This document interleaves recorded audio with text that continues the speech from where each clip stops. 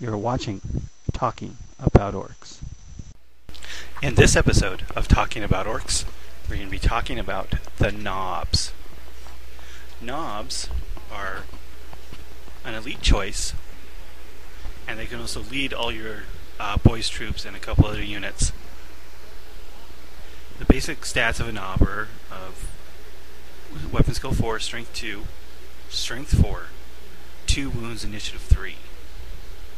That's right, 2 wounds, and the all important initiative 3.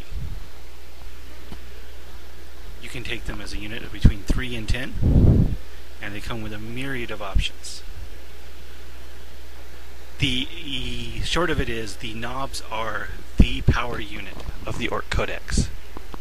They are incredibly deadly, very resilient, and they will pretty much just wreck whatever they touch. So what makes the nobs so good? Well, first of all, they have access to a lot of options that really, really improve their effectiveness. Uh, the first option they can take is what's called a war banner. The war banner is carried by one of the nobs, and it gives the unit plus one weapon skill. So every unit, every model in the unit now has weapon skill 5. If you attach a war boss, the war boss has weapon skill 6. If you attach Ghazghkull, Ghazghkull bumps to weapon skill 7. So you'll be hitting almost everything on threes no matter what it is. Now, the other option that makes the nobs very effective is you can upgrade one of the nobs to a Pain Boy. The Pain Boy has two functions. First, it gives the unit feel no pain. This includes any attached independent character, just like the Marine Apothecary.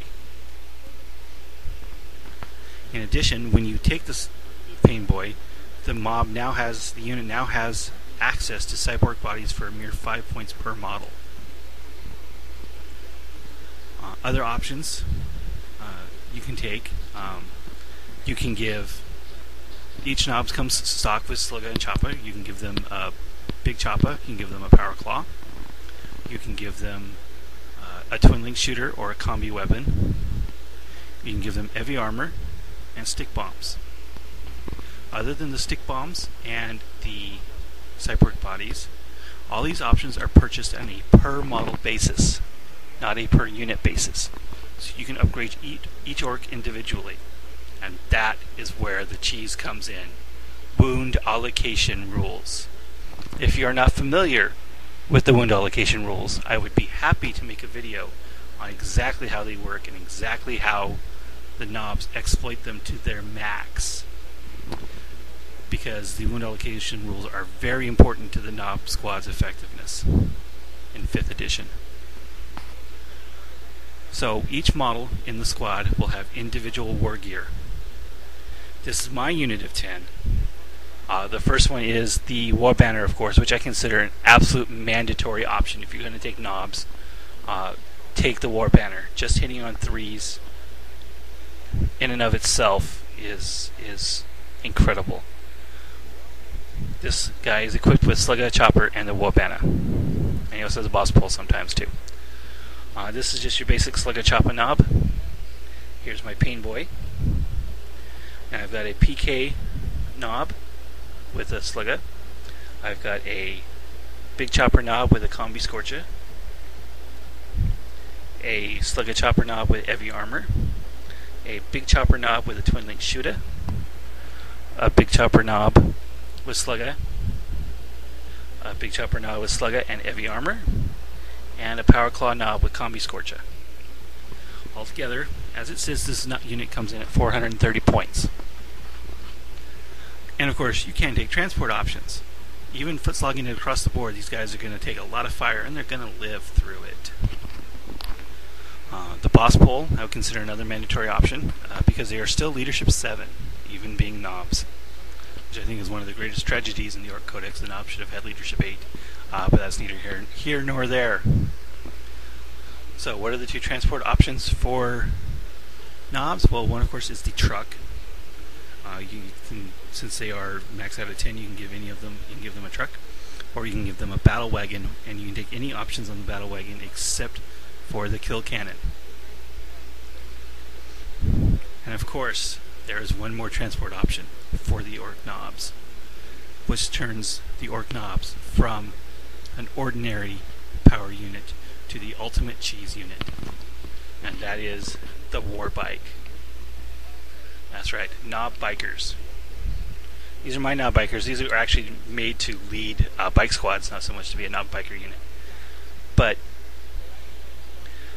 if you put them on a war bike, now they become toughness 5 against shooting. Of course, they're still toughness 4 for the instant death. But they become toughness 5. Uh, they have the built-in 4 plus armor save. They have the built-in ork Bike 4 plus cover save. So no matter what, they always get a cover save. And, uh, of course, they have the speed with the 24-inch turbo boost, the 12-inch movement.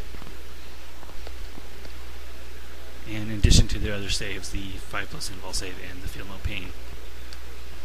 And nob bikers, of course, are incredibly expensive. You're probably talking uh, upwards of 700 points for a full squad.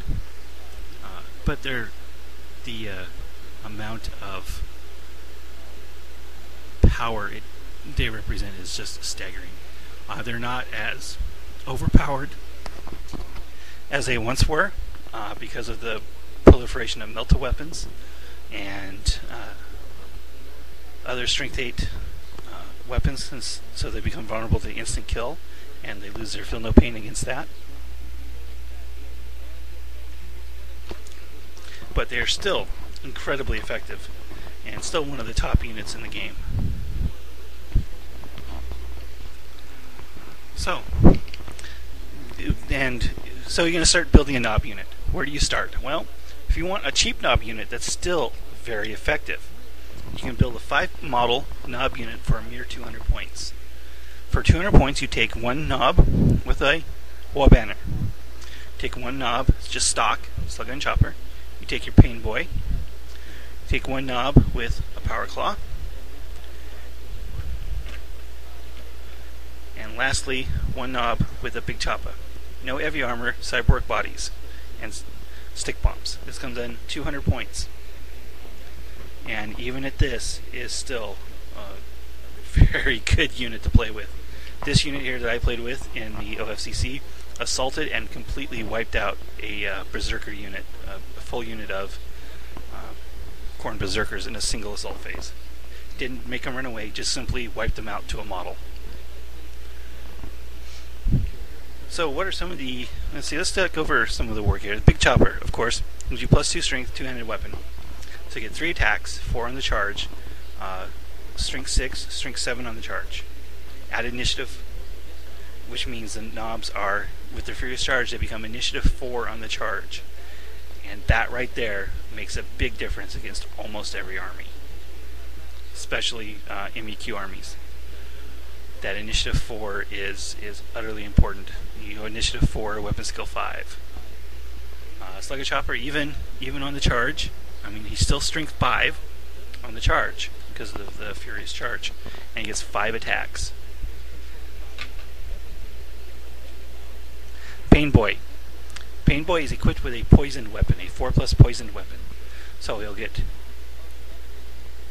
3 attacks, 4 on the charge, at initiative weapon skill 5, wounding on 4s, and of course any model that's uh, equal or less toughness, you get a reroll. So on the charge, that's toughness 5 models, he'll get a reroll on the poisoned. That's just so good. So he, he will actually dish out quite a few wounds uh, just by himself. Big choppers are great for wounds uh, against a lot of things at initiative there's really, you know, nothing bad to say about the nobs. So here we have here we have your basic nob unit. From there you can start expanding. So it just about wraps up the nobs. nobs are, are so good. It's it's hard not to play with them sometimes, uh, but they're they're almost too good. They're bordering on cheese, and, and sometimes you just have to sit back and go, how did these guys make it in the codex?